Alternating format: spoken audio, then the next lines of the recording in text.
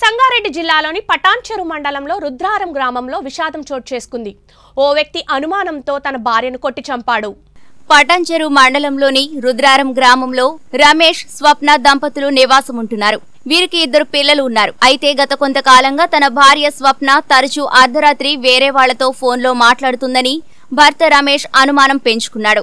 సోమవారం రాత్రి కూడా అదే అనుమానంతో రమేష్ తన భార్య స్వప్నను తీవ్రంగా కొట్టాడు.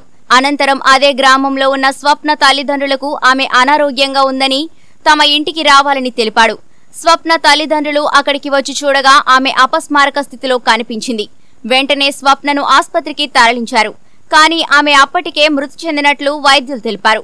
స్వప్నను తీవ్రంగా కొట్టాడని ఆ దెబ్బలు తట్టుకోలేకనే మరణించిందని ఆమె బంధువులు రమేష్ పై పోలీసులకు ఫిర్యాదు చేశారు. భర్త రమేష్ను పోలీసులు అదుపులోకి తీసుకున్నారు. ఈ ఘటనపై కేసు నమోదు చేసుకున్న పోలీసులు దర్యాప్తు చేస్తున్నారు. స్వప్న మృతితో రుద్రారం గ్రామంలో విషాద ఛాయలు అలుముకున్నాయి.